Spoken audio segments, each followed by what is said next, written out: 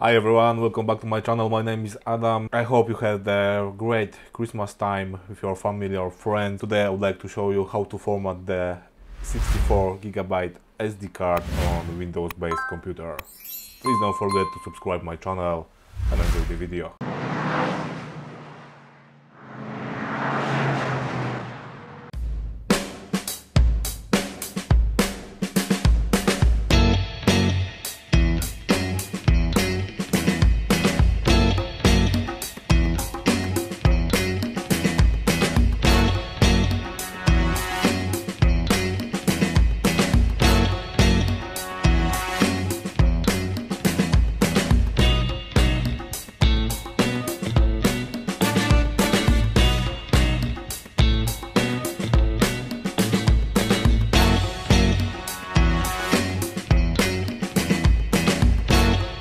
Okay, so let's insert the SD card into the reader. Let's try to format it.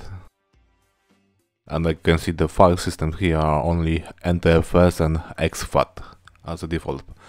But we need to format it as FAT32.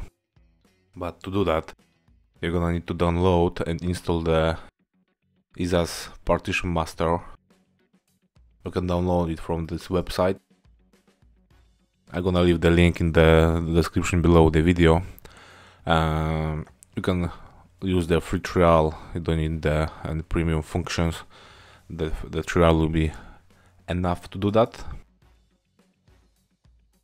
So just download it and install your computer then start the application. Uh, in my case is the disk 2 the label H so right mouse click and format. From the file system I need to select the FAT32 the cluster size can be just 1 kilobyte. And then press OK. And there's the notification that um, the data on the partition will be erased. OK. Then just need to click here. And okay, now just need to wait until it finish uh, formatting.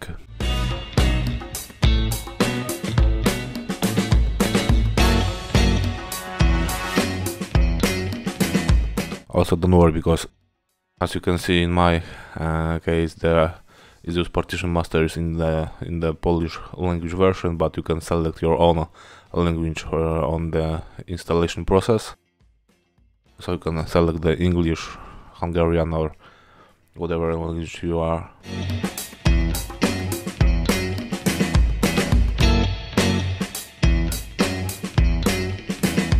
Okay, so it just finished. You can close the, the application and then let's refresh check the properties and the file system is FAT32. Okay guys, thank you very much for watching, hope that video will be handy for you. Please don't forget to subscribe my channel and see you in the next movie.